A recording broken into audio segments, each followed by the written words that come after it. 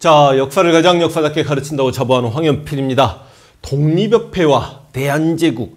그래서 문제가 좀 많이 기출되는 파트입니다. 와, 3년간 10문제 정도 나왔는데 제가 지금 6개 정도 다뤄드릴 거고 나머지는 여러분이 이렇게 직접 풀어보시기 바랍니다. 한번 가볼게요. 갑니다. 보시면 다음 상황 이후에 전개된 사실로 옳은 것을 보기 위해서 모두 골라라 그랬습니다. 일단 힌트 자체는 여기 황구단하고 나오네요. 황구단의 다른 이름은 원구단이죠. 이 원구단에서 고종이 황제 즉위식을 거행합니다. 힌트는 그것밖에 없어요. 그럼 다음 상황 이후 연도는 1897년 대한제국이 수립된 그 해겠네. 역사적 사실로 옳은 거 골라볼까요? 관립 실업학교인 상공학교가 개교되었다. 그러니까 우리가 대한제국 광무개혁 내용 중에 근대적 회사, 근대적 은행, 근대적 공장, 근대적 학교가 만들어졌다라고 이야기하는데 그 학교들은 관립학교였고 실업학교였고 의회학교였고 막 이런 학교들이 많이 만들어지잖아요. 의 그러니까 의사 양성한 학교, 기술학교 이런 학교들이 많이 만들어졌기 때문에 이거 맞는 문장입니다. 굉장히 지금 문제가 어렵게 출제되었고 군 통수권 장악을 위해 원수부가 설치했다. 이거는 선지로 계속 나왔으니까 대한제국인 거 알고 계실 거고 기억니은이 정답 떨어지는데 나머지가 이제 여러분 기기창이 나옵니다. 다시 한번 이야기하지만 80년대 초반 개화 정책이 한창일 때 이모군란이 일어나서 개화 정책이 중단되었지만 다시 민비가 권력을 잡고 개화 정책을 계속 추진해 나가는 과정에서 전한국, 방문국, 기기창, 우정국이 만들어진다는 거 알고 계시면 83년입니다. 그 다음 여러분 유경공원 어차피 근대 문화파트에서 정말 시험에 많이 출제되는 원산학사와 유경공원은 걸림 연도를 알고 계셔야 되는 거 아닙니까? 그럼 1886년에 유경공원은 만들어졌고 최초의 근대적 관악이라는 거 알고 계셔야 되고 상류층 자제들이 영어 공부를 했고 외국인 선교사들 헐버트 등이 교육했던 유경공원을 알고 계셔야 되겠습니다. 그래서 2번의 정답은 이렇게 할게요. 다음 문제. 밑줄근 이 관계입니다. 대한제국에서 인민로 정답을 가진 자는 이 관계를 반드시 소유하되 이건 뭐에 대한 설명이겠습니까? 지계에 대한 설명이죠. 여러분 제가 지계 대한제국에서 만들어진 최초의 근대적 토지 소유 증명서라고 생각해도 된다. 대한제국에서 양전 사업하고 지게 발급했다는 게 광무개혁 내용 중에 가장 시험에 많이 출제된다고 말씀드렸습니다. 이 지게가 발급되던 시기에 있었던 사실이면 기본적으로 대한제국 시기라고 좀 생각을 해보고 문제를 풀어볼게요. 1번 이만손 등이 영남 만인소를 올렸다. 지금 영남 만인소 사건 여러 번 만났잖아. 그럼 1880년에 2차 수인사 김홍집이 조선 책략 가지고 들어왔고 그 조선 책략 때문에 미국과 수교에 대한 논의가 한창일 때 미국과 수교를 반대하고 개화 정책 반대하고 조선 책략 유포를 반대했던 2만 손을 필두로 해서 영남에서 만여 명의 유생들이 상소를 올렸던 영남 만인 사건 이건 1881년 연도까지 알고 계셔야 되고 방문국 83년이죠. 기기창 전한국 등과 더불어서 그리고 어차피 신문 파트에서 우리 역사상 최초의 신문 근대적 관보였던 한성순보 83년인가 알고 계실 거고 일제강점기 공부할 때 진주 지역의 백정들이 전국의 백정들에게 연락을 취했고 평등을 강조했던 형평운동 조선 형평사에서 주도하죠. 1923년인데 실제로 일제강점기 공부할 때 1923년이 연도 문제로 가장 여러 가지 사건들이 시험에 많이 기출되는데 일제강점기 공부하면서 한 번쯤 잡아볼 수 있도록 하겠습니다. 러시아가 와 문제 어렵다 정답이 러시아가 용암포를 점령하고 조차하려고 했다. 이게 러일전쟁의 배경이 용암포 사건인 거 알고 계셔야 되고 용암포 사건이 1903년이라는 걸 캐치하고 나서 결과적으로 대한제국 시기구나라는 걸 인정하고 그리고 실제 러일 전쟁이 발발하면서 지계 중 발급이 중단되어서 지계가 전국적으로 발급되지 않았다 이런 내용이 수험 한국사에서는 많이 기출되거든요. 그러니까 정답은 4번 가야 되겠네. 제너럴 셔머노 사건은 66년인 거 알고 계시죠? 그러니까 정답은 4번 가겠습니다. 쉽지 않은 문제였습니다. 다음 문제 가볼게요.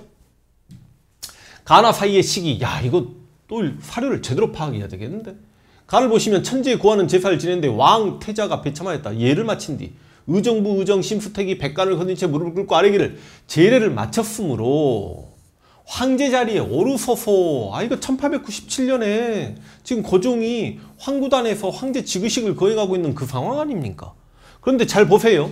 이, 나를 봅니다. 이제 본서에서 대한국 국제 그러니까 제가 광무개혁 여러 내용들을 공부하는 과정에서 광무개혁 내용 자체를 연도를 많이 물어보진 않아요. 근현대사는 연도가 중요하고 연도 싸움 해야 되지만 광무 개혁끼리 선후관계를 잡는 문제는 수험항사에도 기출이 되지 않기 때문에 한능검 공부하실 때도 포기하셔도 됩니다. 아 쳐다보실 필요가 없어요. 다만 대한제국의 헌법이라고 이야기할 수 있는 대한국 국제는 이건 1899년에 발표된다고 이게 연도 문제로 시험에 너무너무 많이 기출됩니다. 그러니까 지금 가는 대한제국이 수립되는 1897년 상황이고 나는 대한국 국제가 반포되는 1899년 상황이니 야, 이 2년 사이에 들어갈 사건 골라라 그랬습니다. 보니까 이제 일제강점기까지 공부했으면 쉽게 풀 수 있는 선지들이 나오긴 합니다만 영화 아리랑은 연도를 꼭 암기하고 계셔야 됩니다. 1926년이었고요.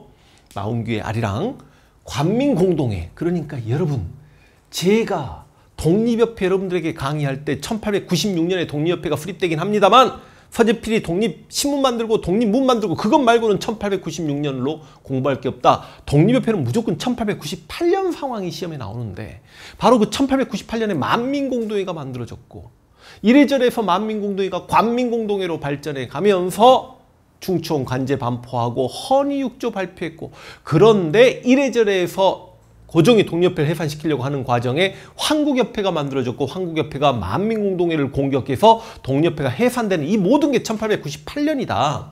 그래서 여기 관민공동회에서 연설하는 백정, 박성춘 이야기죠.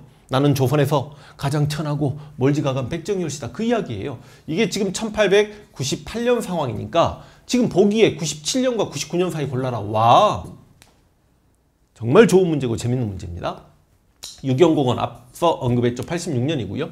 경부선 기차 어차피 경인선, 경의선, 경부선 연도는 다 암기해야 되니까 여러분 다음 파트에서 뜨겁게 만날 거고 근후에도 일제강점기에 만나죠. 심간의 자매단체죠. 1927년에 만들어집니다.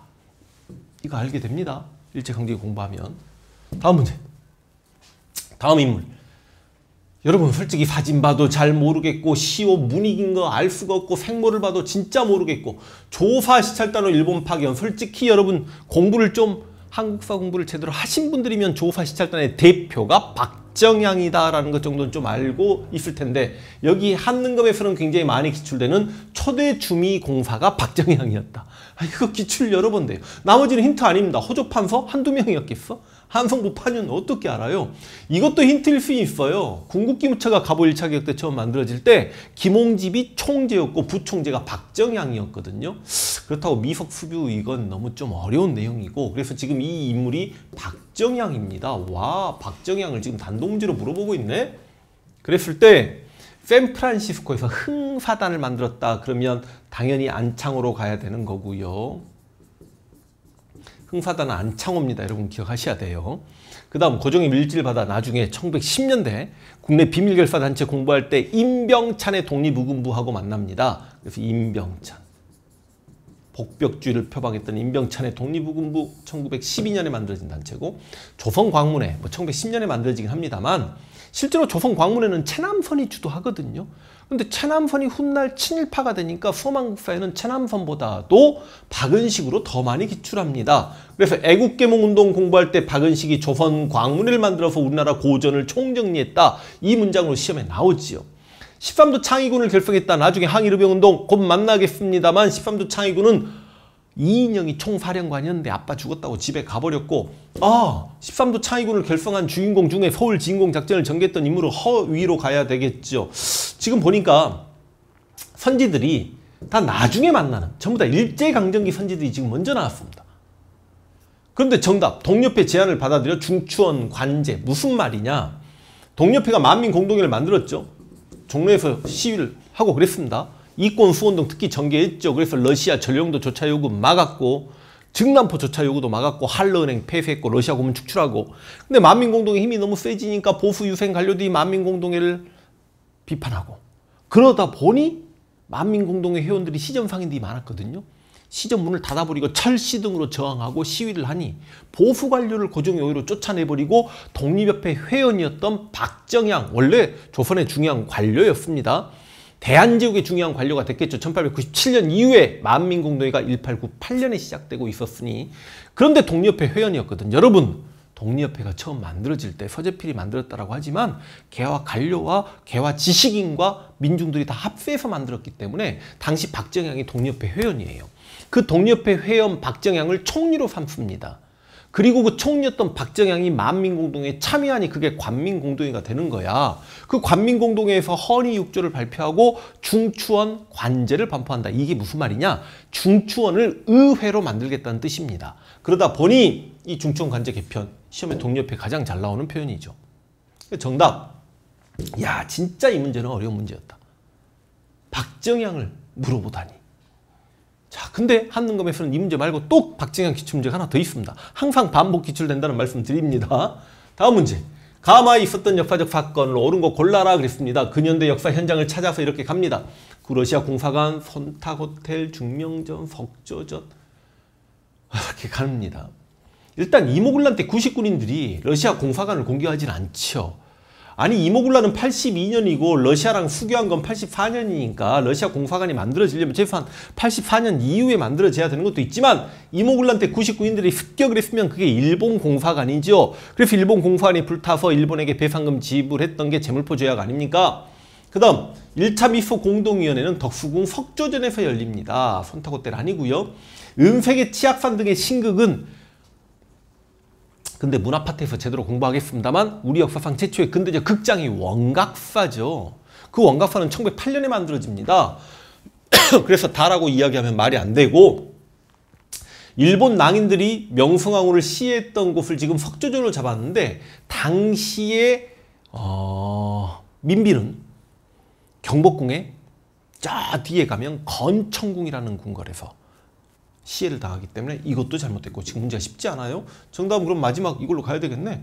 대한민국 황제 즉위식이 거행됐던 마, 마, 황구단터 하고 나옵니다. 원구단터. 지금 종로 호텔이 들어서 있는 그 자리죠. 11번에 정답 5번 넘어갑니다.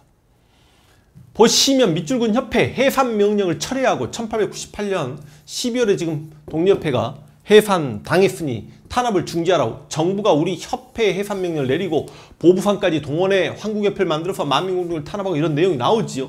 밑줄근 협회는 독립협회가 되겠네. 대성학교와 오산학교 나중에 신민회 공부할 때 대성학교는 안창호 오산학교는 이승훈 이렇게 하고 공부하겠죠. 고종 강제 퇴위 반대 운동은 1907년에 있었습니다. 고종이 1907년에 헤이그 특사 파견한 것 때문에 강제 퇴위 당하지요. 그래서 지금 여러분 독립협회는 1896년에서 1898년이니까 시기적으로 맞지가 않아요. 그 다음 이상하게 선지가 나중에 공부해야 될 선지 내용들이 많아요.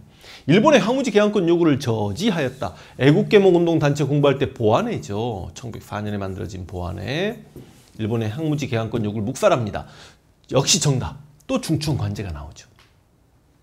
그 다음 일본의 진 빚을 갚자는 국채보상운동 1907년에 대구에서 서상돈에 의해 출발되었다는 것도 나중 문제에서 많이 만날 것 같습니다. 이렇게 열세 문제 중에 여섯 문제 독립협회와 대한제국 문제 이렇게 해결하고 다음 시간 또 가열차게 만날 수 있도록 하겠습니다.